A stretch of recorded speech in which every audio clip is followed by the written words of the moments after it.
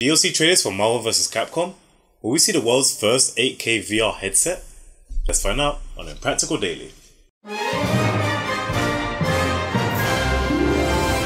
Marvel vs. Capcom Infinite has been out less than a week and we already have a new DLC trailer for the female Monster Hunter. The trailer featured her using multiple weapons from blades to bows and arrows and ended the trailer with showing us her finishing move. There's no defined launch date or pricing for Monster Hunter herself, however if you buy the 2017 character pass then you'll have access to her along with all the other confirmed DLC characters. Square Enix released a trailer for their new survival action shooter Left Alive at the Tokyo Game Show.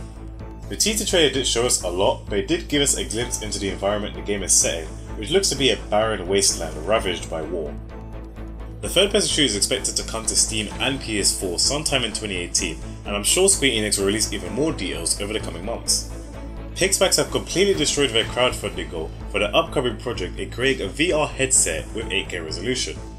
The original goal was $200,000, but that was reached within a few hours and is sitting on more than $781,000 from over 1,200 backers with 43 days to go.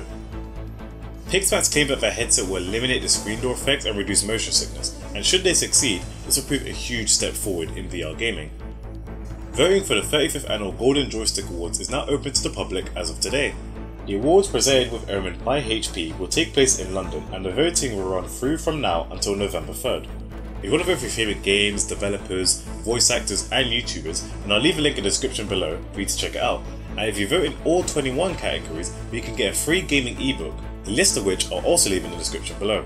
That's it for Impractical Daily. Thanks for watching and I'll see you next time.